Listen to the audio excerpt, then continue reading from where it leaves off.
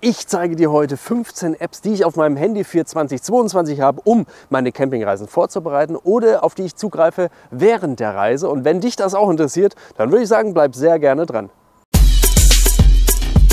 Nehmen Sie die erste Ausfahrt. Und damit ganz herzlich willkommen zu einem neuen Video bei Fan for Van. Mein Name ist Markus und heute geht es, wie schon erwähnt, um 15 Apps, die ich auf meinem Handy habe, um mir das ganze Campingleben zu vereinfachen. Und eines gleich mal vorweg.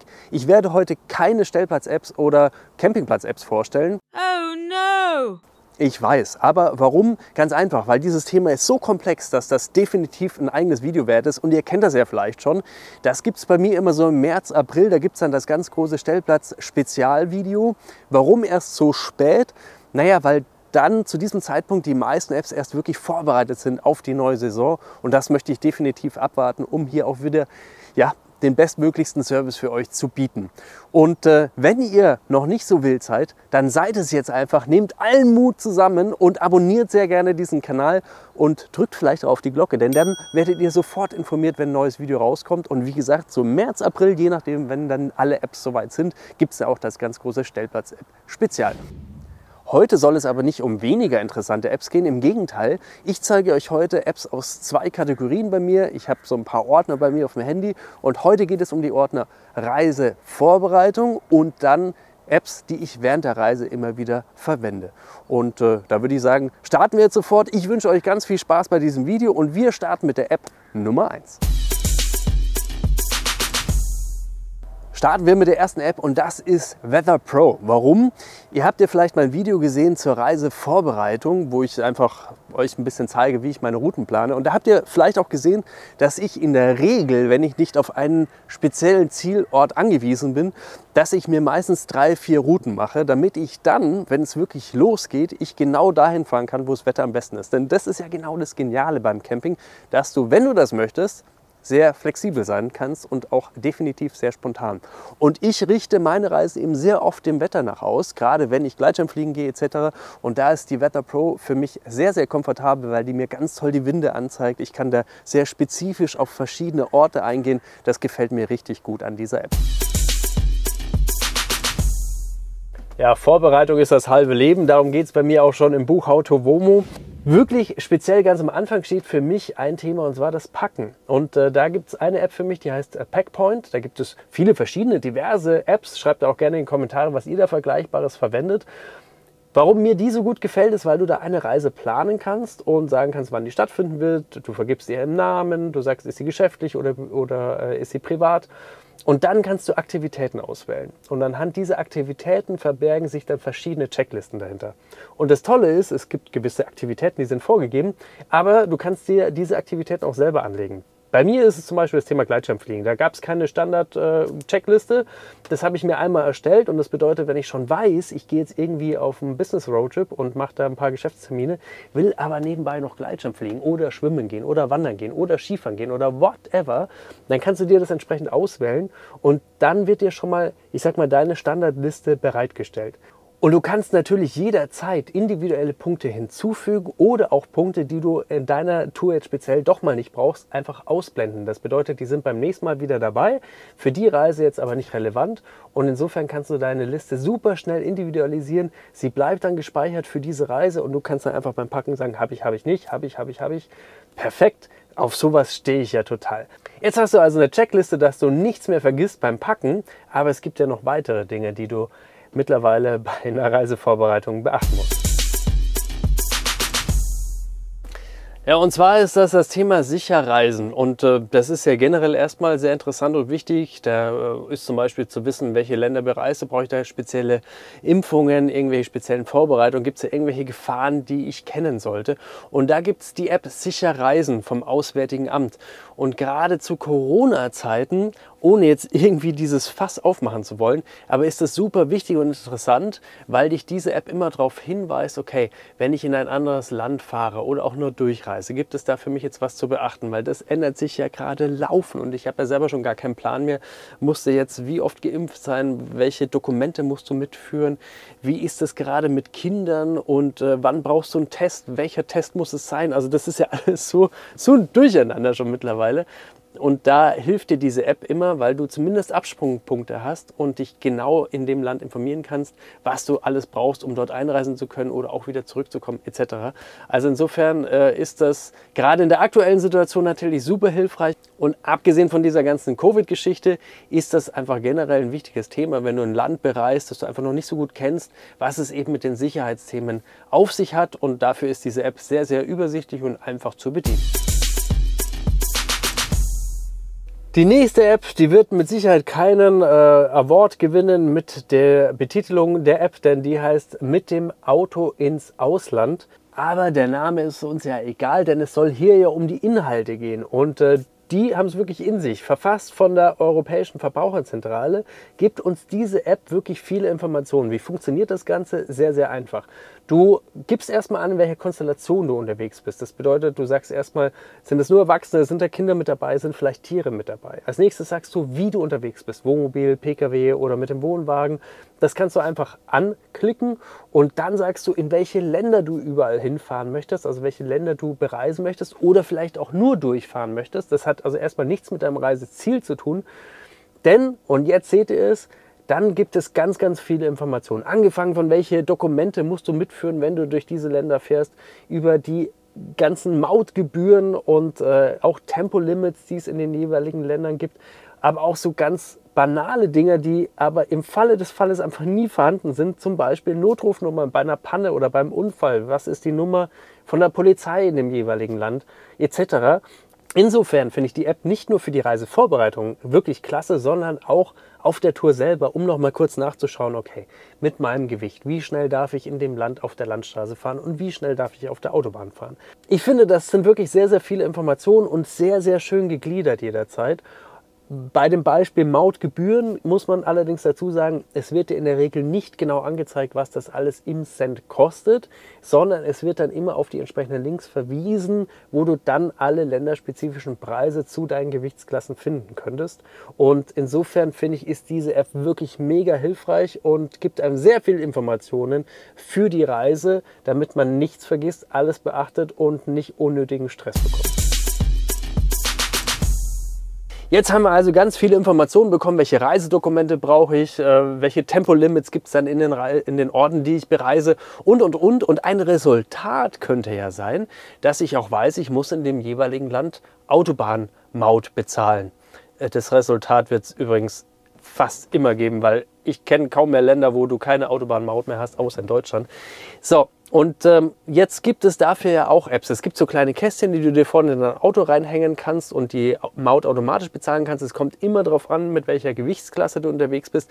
Und in meinem speziellen Fall ist Österreich das sehr naheliegend, weil ich wohne quasi in der Nähe von Österreich. Ich bin sehr, sehr gerne in den Bergen beim Skifahren etc. Das heißt, Österreich ist ein Land, das ich sehr oft und gerne bereise und dementsprechend muss ich dort natürlich auch Maut bezahlen. Und dafür gibt es auch eine App von der Asfinag und da kannst du zum einen dein normales Bickerl schon mal buchen und du kannst zum Beispiel auch, es gibt ja da auch nochmal spezielle Mautgebühren für gewisse Tunnel oder Brücken und die kannst du auch vorab für die entsprechenden Autobahnen schon lösen und dann kannst du einfach über die entsprechende Mautstelle fahren und Kameras scannen dann dein Kennzeichen und gucken, ah ja, der hat gezahlt, der darf da durchfahren und die Schranke geht automatisch auf. Das bedeutet, du sparst dir wahnsinnig viele Staus und du hast einfach nichts mehr zu tun. In der Reisevorbereitung ist das sehr, sehr angenehm. Wichtig ist allerdings dabei zu wissen, das Ganze musst du 14 Tage vor deinem Reiseantritt machen, denn durch dieses europäische Umtauschrecht sagt die ASFINAG, hey, äh, das musst du vorab machen, sonst fährst du mit meinem Ticket rein und dann nachher sagst du, nö, ich will das umtauschen und ich muss das Geld zurückgeben. Das machen die natürlich nicht. Es gibt noch einen Weg, wie du das Ganze umgehen kannst, indem du das Ganze als gewerbliches Unternehmen einkaufst. Äh, dann wird nämlich das Ganze sofort freigeschaltet, weil als Gewerbe hast du kein 14 Tage Umtauschrecht. Insofern kannst du dann auch die gelösten Tickets bzw. Mautgebühren auch sofort umsetzen. So als kleinen Randnotiz. Ich möchte nicht damit sagen, dass ihr alle sofort selbstständig werden müsst, aber ihr wisst jetzt, wie ihr die 14 Tage Umtauschrecht umgehen könnt. So, und wir machen sofort weiter mit der nächsten App. Eine App, die ich euch auch nicht vorenthalten möchte, das ist die Campercheck-App. Warum? Einmal, weil ich denjenigen äh kenne, der diese App gemacht hat. Ein ganz, ganz äh, lieber Kerl, ein Camper wie du und ich. Und äh, der hat es einfach mal nebenbei gemacht. Er hat im Prinzip das, was ich mit der Camper Safety Card mal angefangen habe, digitalisiert und perfektioniert in einer langen Form. Der ist da auch noch lange nicht fertig. Der hat da noch ganz, ganz viele Ideen. Diese App ist sehr, sehr jung. Schaut euch die einfach mal an. Warum stehe ich hier hinten am Fahrzeug? Weil die mir zum Beispiel auch sagt, wann ist mein nächster TÜV-Termin? Wann habe ich meine nächste Gasprüfung? Also all diese Themen, die kann ich hier mitspeichern. Zielgerichtet auf mein Fahrzeug natürlich und habe darüber hinaus noch sehr, sehr viele Checklisten, wo ich auch eigene Punkte hinzufügen kann und ergänzen kann. Und wie gesagt, diese App ist äh, noch in den Kinderschuhen, aber ich freue mich da total drüber und bin gespannt, was sich aus dieser App noch raus entwickeln wird. Und auch da, glaube ich, wäre der Verfasser auch sehr glücklich, wenn es von euch noch Feedback dazu gäbe und vor allem auch Anregungen dazu gäbe. Dann, glaube ich, wird da was richtig Tolles entstehen. Und wie gesagt, ein kleines Helferchen, das einen vielleicht vor großen Schaden bewahrt, aber vielleicht auch einfach mal davor bewahrt, irgendwas noch zu vergessen oder was zu übersehen. Finde ich eine sehr, sehr gute Idee. Let's Fetz, es geht los auf Reise und da ist ein Navigationssystem natürlich äh, sehr, sehr wichtig. Jetzt hast du eventuell ein fest eingebautes Navigationssystem, so wie ich, das ich ehrlicherweise auch die meiste Zeit verwende. Oder du hast vielleicht so ein kleines TomTom oder ein Garmin, das du dir vorne reinspannst. Oder es gibt eben auch die Möglichkeit, das Ganze per App zu machen. Aber auch da gibt es nicht mehr wirklich viel, was du verwenden kannst. Warum? Naja, weil die meisten Apps, also es gibt ganz, ganz viele. Google Maps ist natürlich das, der, der Platzhirsch, ja? der ist auch wahnsinnig geil bei Live-Traffic. Was die meisten Navis aber nicht können, ist, dich mit deinen fahrzeugspezifischen Daten zu navigieren. Das bedeutet, die geben dir einfach Strecken für einen Pkw. Was aber, wenn du jetzt mit dem Fahrzeug unterwegs bist, das 3,20 Meter Höhe hat, da kommst du nicht mehr durch jede Unterführung durch. Oder mit dem entsprechenden Gewicht, da kommst du auch nicht überall durch alle Straßen durch. Und genau das berücksichtigt zum Beispiel Südschick. Das ist die App, die ich dafür verwende.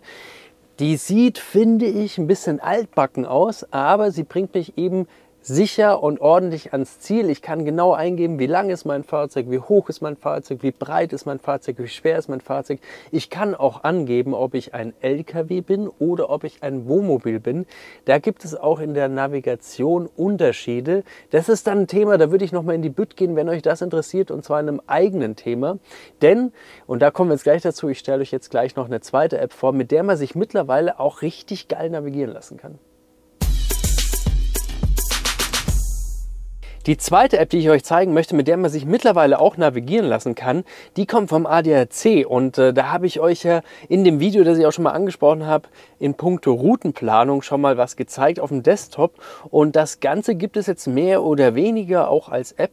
Allerdings ein bisschen, naja, versteckt möchte ich sagen, und zwar unter dem Thema Spritpreise. Und das ist eigentlich auch die Art von App gewesen, die ich euch zeigen wollte, dass du mal sehen kannst, wo auf deiner Strecke sind Tankstellen und vor allem zu welchen Preisen kannst du dort tanken. Dementsprechend kannst du natürlich auch deine Fahrt ein bisschen planen, weil es wäre natürlich verkorkst, irgendwie an der teuersten Tankstelle zu tanken. Und das war genau mein Ansinnen, euch jetzt zu zeigen. Das habe ich also natürlich bei der Spritkosten-App automatisch mit dabei.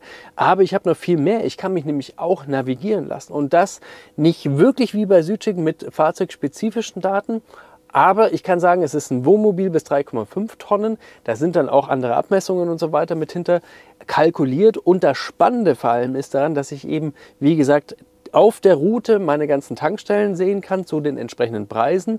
Aber ich kann zum Beispiel auch einstellen, ob ich Mautstraßen vermeiden möchte und wie lange dann der entsprechende Umweg wäre. Und ich kann mir das, wie wir es ja auch bei der Routenführung dann schon mal gesehen haben, alles berechnen lassen.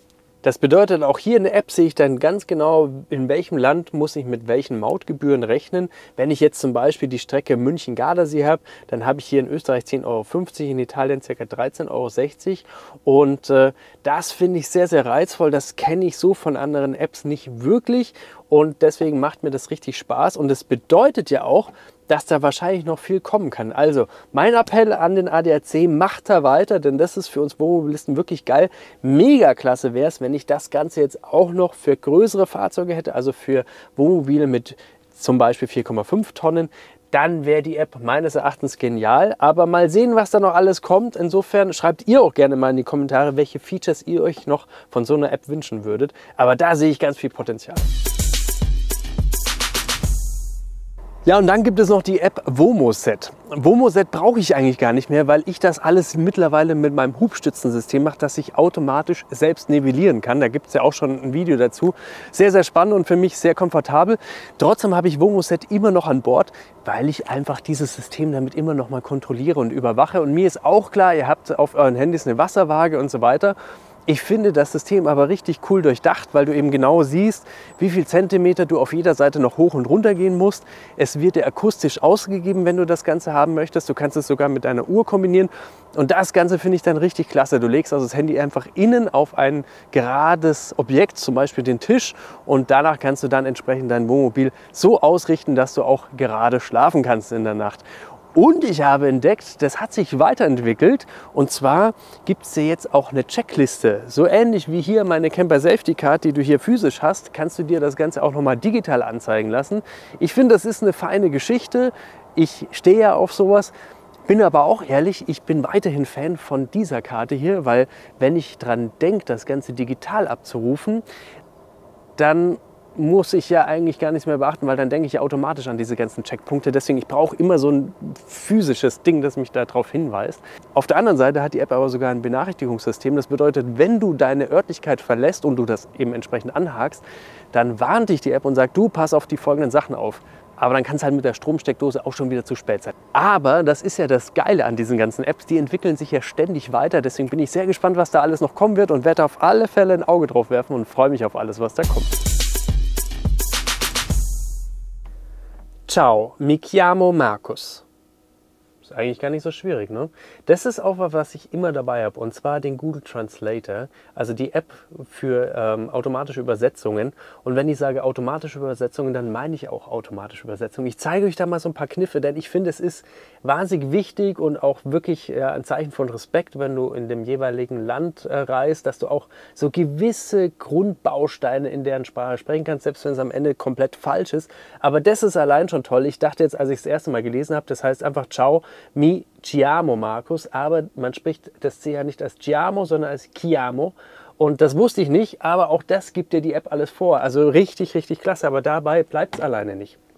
Du kannst bei dieser App noch viel, viel mehr machen. Du kannst zum Beispiel mit der Kamera Sachen abfotografieren, wenn es irgendwelche Warnhinweise sind, irgendwelche Schilder, die du einfach nicht verstehst, dann kannst du da mit deinem Telefon draufgehen. Ich mache das einfach nur mal ein Beispiel meines Buches und kannst dir das alles synchron übersetzen lassen. Das bedeutet, du kannst mit deinem Gegenüber, wenn du ganz schnell wichtig was besprechen musst, kannst du das in Deutsch einsprechen und der Google Translator spricht das automatisch wieder in der jeweiligen Sprache wieder, beziehungsweise schreibt es nieder. Also auch das ist richtig, richtig klasse.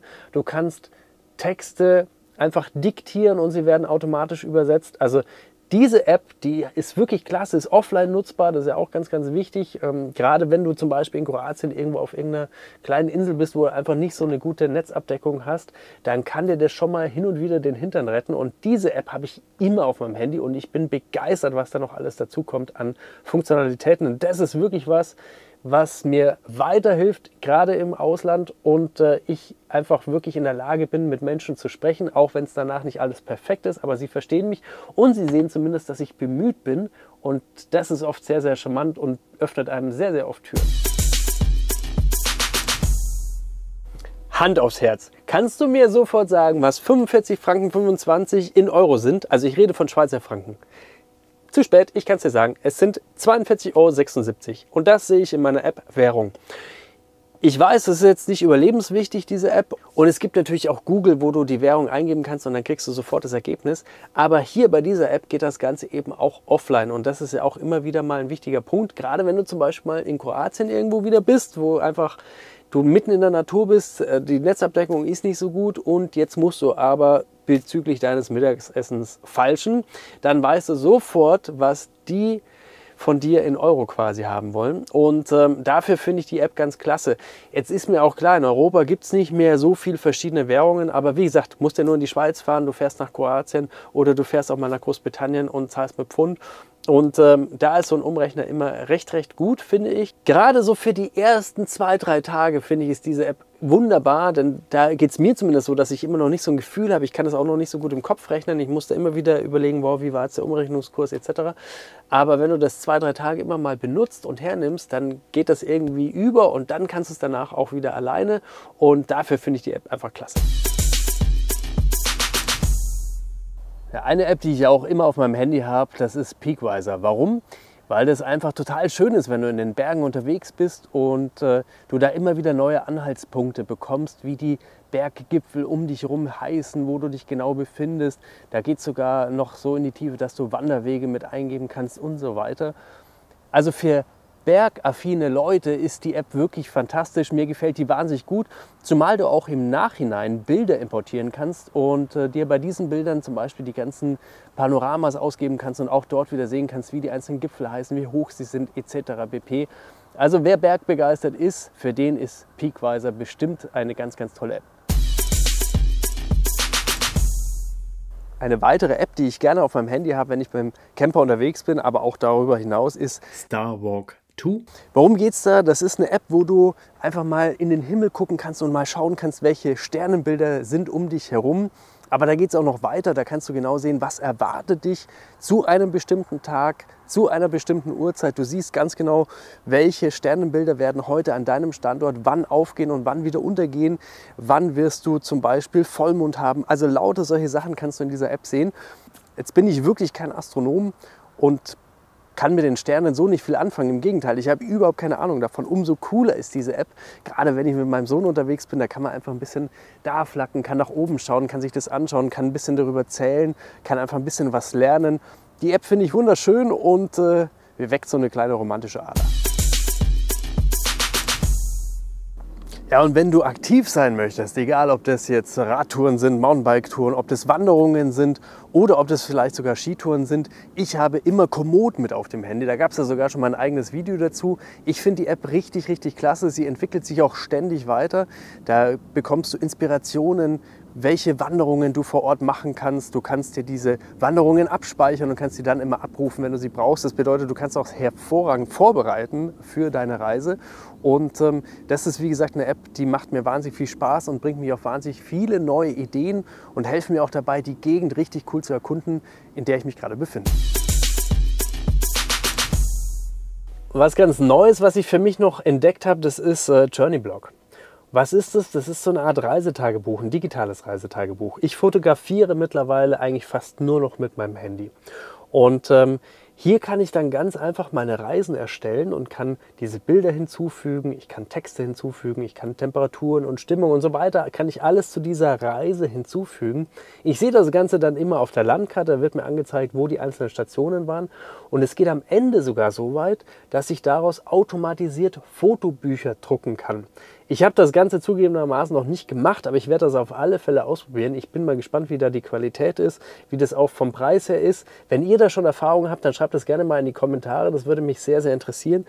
Vom Grundsatz her finde ich die Art, wie man das alles macht, sehr, sehr einfach, weil normalerweise ist Tagebuchschreiben ja immer echt ekelhaft und viel Arbeit und ich nehme es mir immer vor und mache es am Ende nicht. Und das ist so einfach und macht mir echt Spaß, wenn man sich da am Abend nochmal auch in einer größeren Runde mit der Family zusammensetzen würde, ich bin ja jetzt eigentlich immer allein unterwegs, ist das überhaupt kein Thema, weil du sagst einfach, welche Bilder du dazu fügen möchtest, schreibst irgendwas, was du Cooles erlebt hast und das ist wirklich schnell, schnell erledigt. Und es ist auch nochmal ein schöner Rückblick auf den Tag. Und damit ist das Ding durch und du hast danach eine wahnsinnig schöne Erinnerung. Du kannst das sogar mit Freunden teilen. Das bedeutet, auch anders als bei Instagram oder wie auch immer, kannst du diesen Reiseverlauf zum Beispiel deiner Allerliebsten zur Verfügung stellen. Wenn die leider nicht mitkommen kann, dann sieht die immer, wo warst du gerade, was hast du erlebt. Oder du äh, schickst es deinen Kindern oder deinen Eltern oder wie auch immer. Du musst das also nicht komplett öffentlich machen, sondern du kannst einzelne Leute zu deiner Reise einladen. Auch das finde ich ein Feature, das gefällt mir sehr, sehr gut. Ich bin mal gespannt. Das wird mich 2022 begleiten und dann schauen wir mal, welche Bücher und welche Erinnerungen da alle am Ende rausfallen und ob die dann auch wirklich cool werden. Wie gesagt, wenn ihr da schon Erfahrungen habt, sehr gerne in die Kommentare. Ich freue mich drauf. Jetzt kennt ihr sie also, meine Apps für 2022, die ich mit an Bord habe. Und jetzt bin ich natürlich mega gespannt, welche Apps habt ihr, die euch den Campingalltag so vereinfachen. Und schreibt auch gerne von Stellplatz- und Campingplatz-Apps, denn vielleicht gibt es ja da noch den einen oder anderen tollen Hinweis für mich, wenn ich mich dann im Frühjahr dran mache, das große Campingplatz- oder Stellplatz-App-Spezialvideo zu drehen. Da würde ich mich sehr drüber freuen. Insofern ab mit euch runter in die Kommentare und äh, hackt in die Tasten, was ihr nur könnt. Ich freue mich mich da riesig drauf. Ihr findet all diese Apps mit den entsprechenden Verlinkungen auch definitiv auf meiner Webseite, auf dem Blog. Den verlinke ich euch natürlich hier unten in der Videobeschreibung. Die einzelnen Apps hier unten in der Videobeschreibung das wird wahrscheinlich zu unübersichtlich. Ich probiere das mal aus, aber wie gesagt, wenn sie nicht hier unten in der Videobeschreibung stehen, dann findet ihr sie auf alle Fälle auf meiner Webseite. Und äh, natürlich werde ich da auch noch andere Apps von euch mit aufnehmen. Wenn ihr mir da ein paar Inspirationen rüberschmeißt, freue ich mich drauf. Und an dieser Stelle bleibt mir nicht mehr viel zu sagen, außer vielen Dank fürs Zusehen. Wenn ihr Lust habt, dann lasst super gerne ein Like da. Das ist für mich immer eine tolle Bestätigung, weiter solche Videos zu drehen. Und die gibt es natürlich jetzt auch. Es sind wieder ganz, ganz viele ganz spannende Themen in Vorbereitung. Also auch da, wenn ihr es nicht verpassen wollt, ich habe es eingangs schon gesagt, gerne den Kanal abonnieren, die Glocke drücken. Dann werdet ihr sofort informiert, sobald es ein neues Video von Fan for Van gibt. Und jetzt wünsche ich euch, egal ob mit App und wenn ja, mit welcher App, immer ganz, ganz tolle Touren. Kommt vor allem gesund und glücklich wieder zurück und dann sehen wir uns beim nächsten Video schon wieder. Ich freue mich auf dich. Bis dahin alles Gute. Der Markus. Ciao.